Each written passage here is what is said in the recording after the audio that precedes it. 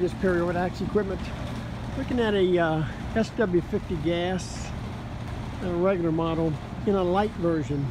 A light version means it is not insulated and it does not have pneumatic door clamps. Um, the door clamping is manual. You can see it here, just a manual uh, open and close. Um, and again, it doesn't have the insulation. Has all the other features you're going to find. Well, that's the gas heater machine here. Your optional OS 111 oil skimmer plugs into the back of the electrical box.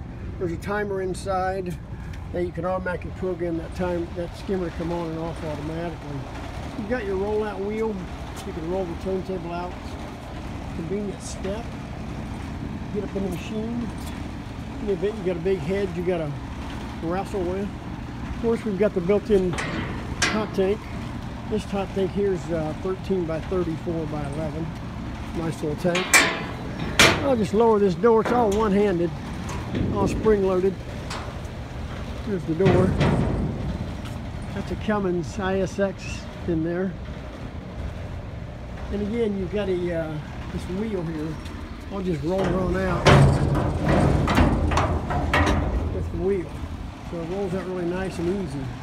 Of course, you got your step uh, of course, your gear drive back here in the back with a clutch.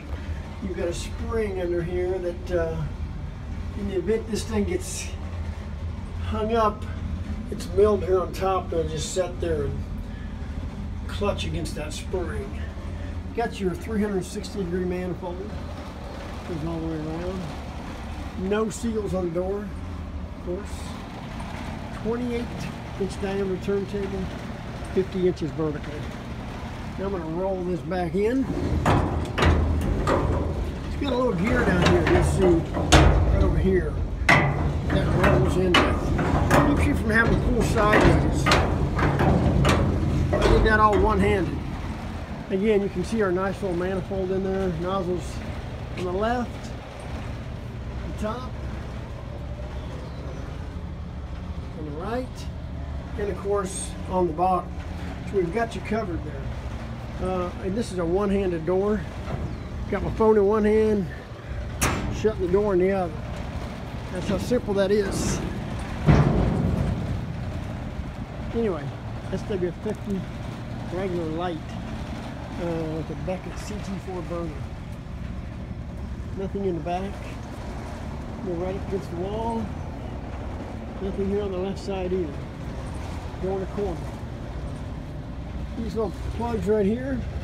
You've got one of our water recycling rinse booths. You can put a, uh, a barb fitting in there and run your water from your rinse booth uh, back to your spray washer.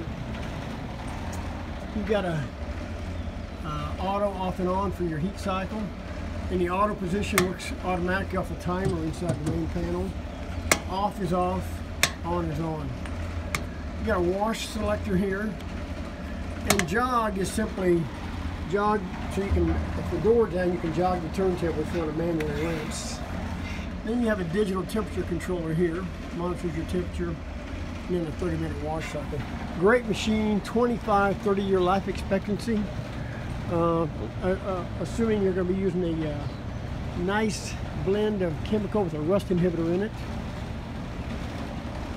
Just kind of walking around, a little door safety switch here nice big uh, 10 horsepower motor here. This thing about 80 psi, but it flows about 140 gallons a minute, so it really flows uh, real nicely. And your built-in oil skimmer, it is an option. Uh, once you get the skimmer in there, it's going to you know, put a bucket into this barb, but you're going to have a, uh, a cover cover this skimmer up because we don't want a bunch of heat being lost out of the uh, skimmer hole because it all that does is going to run your burner more. So very efficient um, and very well thought out. Back here you've got a uh, an air inducer for the uh, for the air, and what that means if you if you turn a pump on, you get a bunch of steam out the door. You can inject air up into the stack to help get that steam going. That will come on automatically and shut off automatically with the pump. Get your drive motor up here.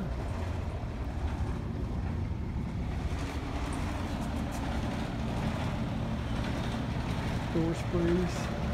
Very nicely done. For the best in cleaning, call Axe.